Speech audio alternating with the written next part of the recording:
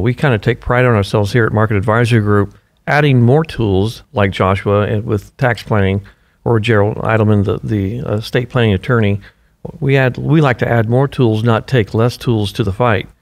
Whatever job you're trying to commit uh, or trying to undertake, if you're trying to dig a hole, you don't want to take a, a claw hammer to that that job.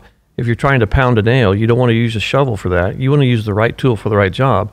But you're handicapping yourself right off the bat if you say, I've only my license only allows me to to sell one type of product, and so therefore that happens to be the best thing for you, and we, we disagree. One of the first people I ever met with, um, a gentleman that was retiring back in uh, 2016, actually, I believe it was late 2015, early 2016.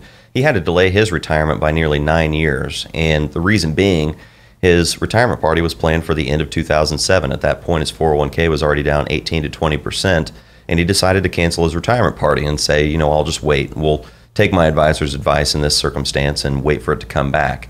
Well, six months later, it's down 30%. Another six months later, it's down 40. Another six months goes by, he's down 50%.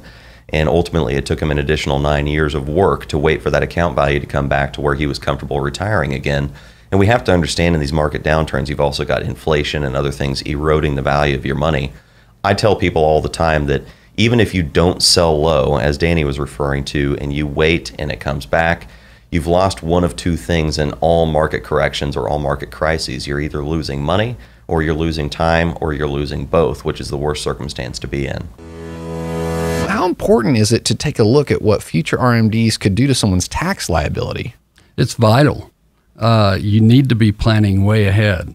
Um, oftentimes, people who are retiring in their early to mid 60s, you realize you could have 10 years before you get there, and you need to be planning that far ahead, uh, especially if you select a monthly pension from your company and that monthly pension is locked in for your life. It gives you no room to maneuver. And so you hit age 72, and suddenly you have this extra income that you didn't know about and it thrusts you into another tax bracket. So um, that brings up a whole other uh, possibility in terms of how you deal with your pension, if you in fact have a choice to do so. Um, but required minimum distributions are something that oftentimes you you tend to put off, but in truth, you need to plan way ahead. So now, since Medicare enrollment is is quickly approaching, like we've talked about, uh, let's kind of explain to some people if they call someone or if they reach out to someone, they might be hounded, and, and why is that? And, and maybe this like bait and switch talk, how we talk about. Um, they're getting people to want to contact them because of the rules for advertising for Medicare, right?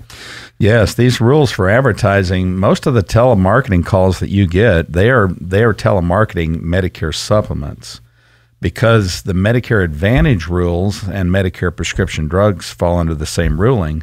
Uh, insurance agents are not allowed to reach out and contact you. We can send stuff in the mail, we can do advertisements, but but you have to actually contact us if you want to talk about Medicare Advantage or prescription drug plans. So those telemarketing calls that are coming to you, they generally are not bringing up Medicare Advantage. They're only going to talk to you about about Medicare supplements.